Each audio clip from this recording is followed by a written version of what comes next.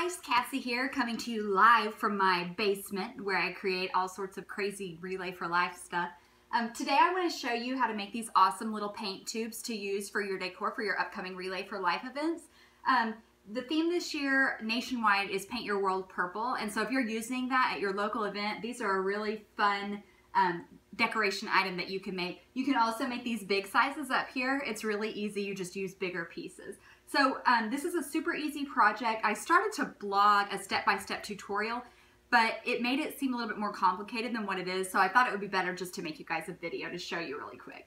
Um, here's what you're gonna need. This is um, air duct that you buy at your local home improvement store. And this is called a reducer that goes on this. Um, as you could, you could already see where the pieces come together. Uh, one of my favorite things to do is to go shopping at a home improvement place just to get ideas of something fun to make as far as decor goes. Um, and so I saw something similar to this on Pinterest and I thought, oh yeah, I could totally make that. So you can make it too because it's so easy, you're not even gonna believe it. So get this at your local home improvement store. Then you're gonna need some glue. I like to use the silicone glue because it stays flexible. Um, and with these things being moved around and stuff like that, it might be a good idea to have something that can move a little bit without breaking. Um, and then a glue stick. And last but not least, you're going to need a label for this project. Um, I know you're like, oh, Cassi, I'm not a graphic designer. That's okay because I like to share stuff. So I'll post this on my blog for you to use for your own event. And this is just printed off on my printer here at home. So it's not like you have to get anything fancy. It's just a piece of paper. Okay, so let's get started. First, I want to show you where you want to buy this stuff at your local home improvement store. So check this out real quick. I'll show you everything. This area is full of paint tube making goodness. Everything you need is right here. Okay, the first thing I'm going to show you is how to put this together. This particular tube is four inches and the reducer is four inches reduced down to three inches. Um, they look best when you just go down by one inches and you'll find they make them for each size.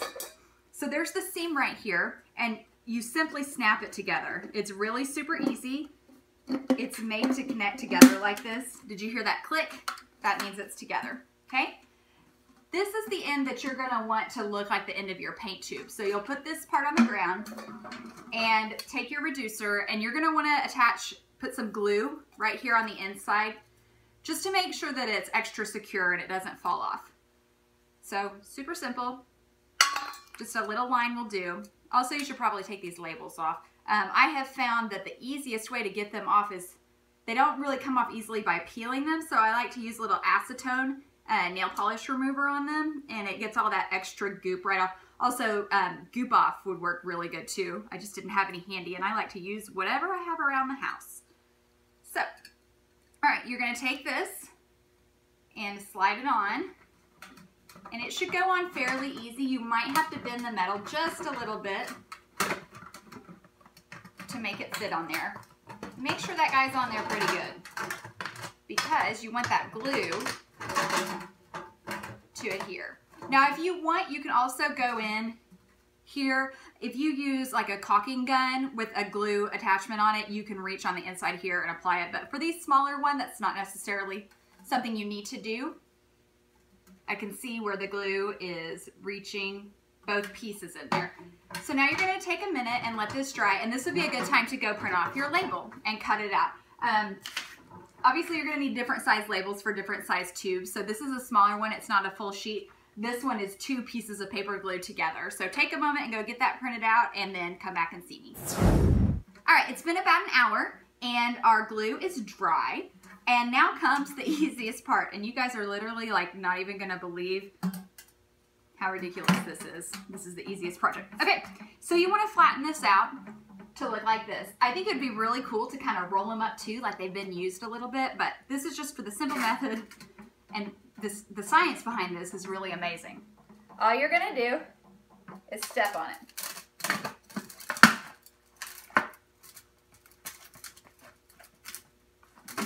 Ta-da!